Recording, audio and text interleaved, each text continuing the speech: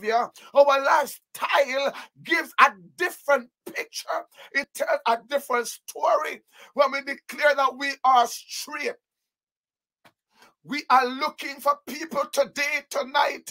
Amen. Regardless where whichever country you live in, your culture, your your your religion, your background, when any person come to Jesus, there's something about you that is different. You check the record through and through that any person that comes to Jesus, I don't care the street you were on, whether gambling street, whether you were a sugar mama, sugar mama, or a baby mother, baby father, Rastafarian, whether you're a bald head, it doesn't matter who you are. Once you leave the street of crookedness, my God, and I met God on the street called street, something